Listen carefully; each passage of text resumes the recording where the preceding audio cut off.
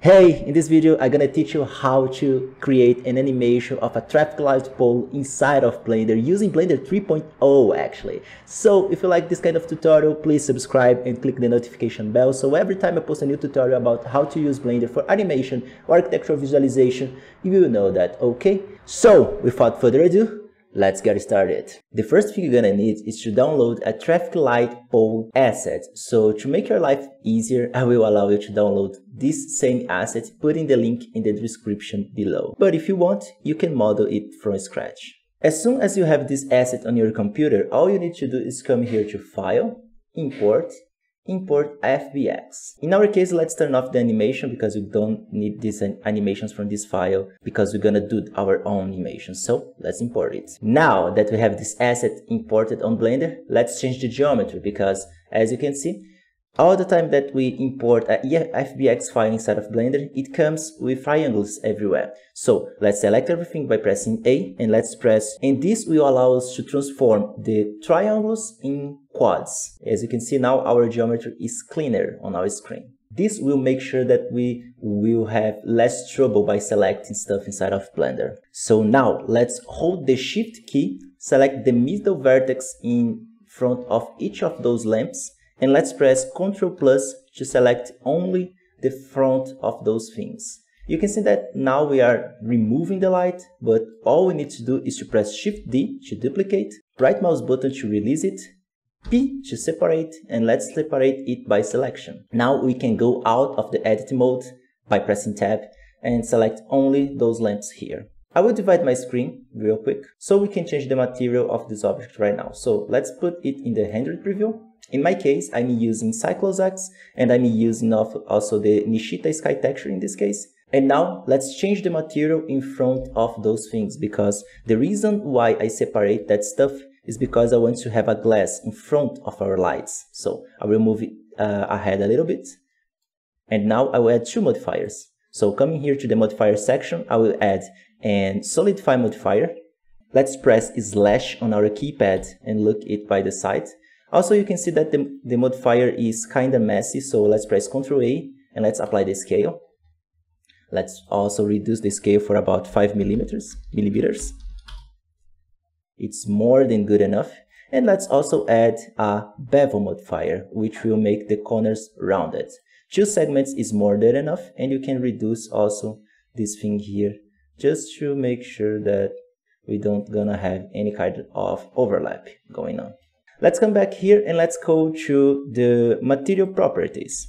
In the material properties, selecting only this object here, which will be the glass in front of our lights, let's just come here to this minus button and remove all those materials because you don't want to have any material in front of these objects besides the material we really want, which is the glass material. So let's come here and change it for the shader editor, shader editor, create a new material, call it glass, and this glass will be just a glass. So remove the principal shader, Shift A, shader, glass shader. This is more than enough for this kind of effect that we are looking for right now. So the second thing we're to change is the light materials as well. In our case, we have this material here, which is good because we don't need to bother about how those lights look behind the glass. So let's delete the principal shading and that normal map Press Shift A and let's add our first shader, which will be the emission shader. In this case, we're to need two shaders. The emission shaders to allow us to turn on and off in this light. So let's increase the strength. About 5 will be enough. But also, let's add a shader, a diffuse shader. We don't need to add more than a diffuse shader because this thing here is below a glass and the glass has more than enough stuff going on to make sure that the diffuse won't look weird.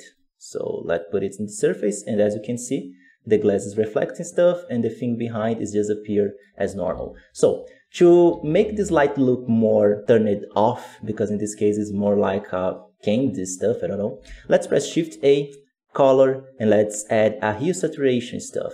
The hue saturation will allow us to reduce the value. So put the value of 0.1, you can see that now the light is looking like turned off light. Last thing you're gonna do is to press Shift A, come here to shader, mix shader, and let's mix those two shaders as you can see. Uh, make sure that they are in this exact uh, configuration, not this one, because the default value for the light will be the off, the zero, and the one will be the turned on stage. If we invert that, things can become a little bit weird for our human minds, you know, one for off makes no sense. So let's keep it in the off state by putting the factor in zero. Let's copy and let's place those on all the other lights like the yellow light and the green light.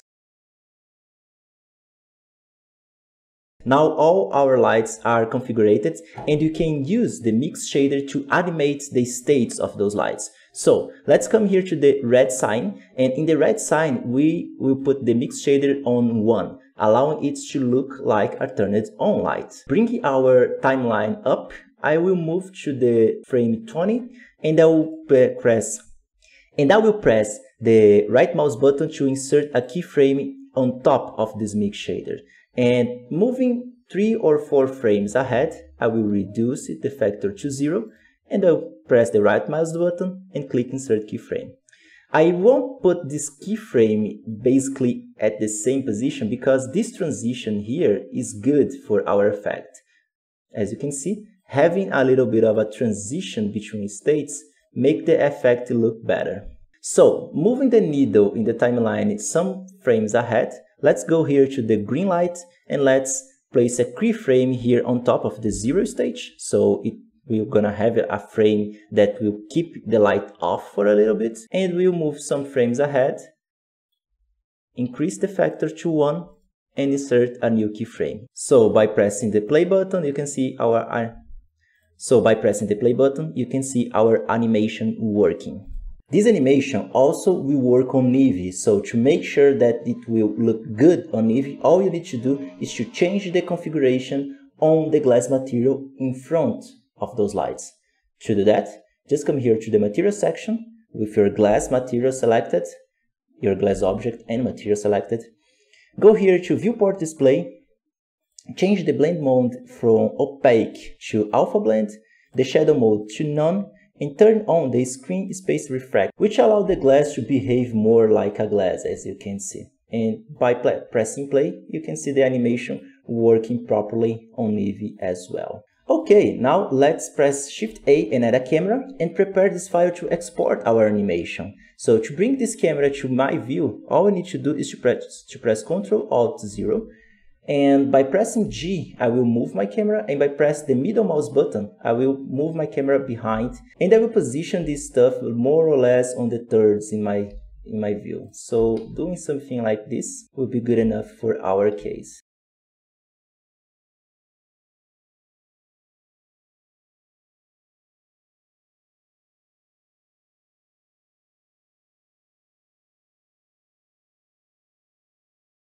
So by change some materials and change a little bit of the lighting behind our stuff, we're gonna have this result. It's, be, it's more than good enough for our example. And now let's prepare it to render because I know you need to render this thing to have an animation in your computer. So how are we gonna prepare this file for the rendering process? To do that, let's come here to the composite tab. I will delete all my stuff here just to not, not make you confused. And you just need to click here in use nodes, first thing first, I will press Ctrl space bar to increase my screen. And all we need to do is to add a Shift A, File Output, and all we're gonna do is to press Shift A, Output, File Output. Let's plug the image on the file output and let's change the folder where we're gonna save this thing. So in my case, I will come here to my rendering tab.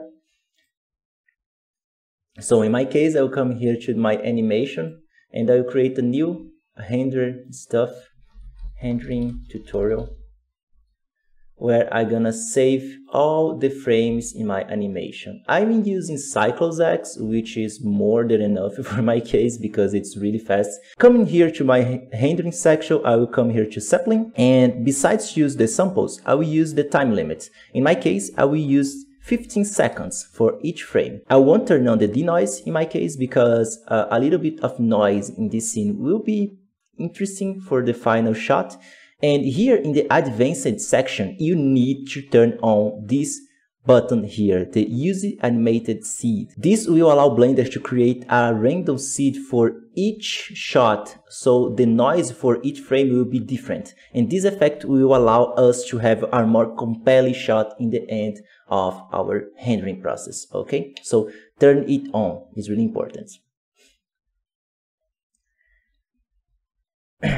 In your computer, the configuration can be different, so try it on your computer as less time as you need to have a clear shot and put this time here on the time limit because each frame will take exactly that time to rendering. So test on your computer how long will be necessary to have a clean shot and then you can just put how much seconds you want here or how much minutes you need. In my case, I'll put 15 seconds because for my RTX 2070, will be good enough. And then you can just come here to render and click here in render animation. Just to save a little bit of time, I will use the image sequence that I saved from my older file in this part of the tutorial. So in my case, the only thing that is different from yours is that I'm using an animated I'm using an animated tree from the vegetation add-on. So just to add more things in my scene going on, I will put that image sequence on Blender right now to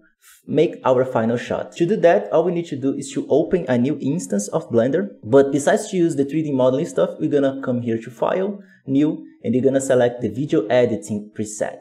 This will give us a video editing stuff and a rendering stuff. So let's come here to this sequence stuff. Let's press Shift A and add an image sequence. The image sequence should be the same image sequence on the folder you saved your file okay so all you need to do is to select everything that you have on this folder the 120 frames in my case and add a stripe here. You can see that the stripe will become something solid and if, if you press the play button, you can see the animation working. Let's put the frame into 120, which is the exact same size of my stripe. And now what you need to do is to add more details on this animation because now it's all muted. So let's add some sound effects, you know, to make things pop up, to make things more alive.